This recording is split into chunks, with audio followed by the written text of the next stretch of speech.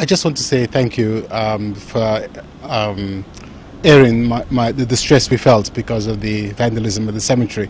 And um, we recovered the plaque um, today. So I'm really grateful for the, to the lady who phoned to say that she'd found it thrown in her garden.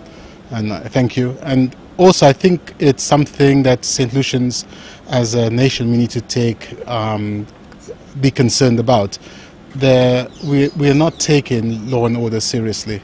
Um, we need to start protecting our property and, and to see that other people do not suffer no break-ins and damage and theft and the vandalism, not to mention the physical assaults that people are experiencing. I think this is the new year on the doorstep and as a nation we really do need to pray and to try to put God back into our lives and this is I think is the best time to do it.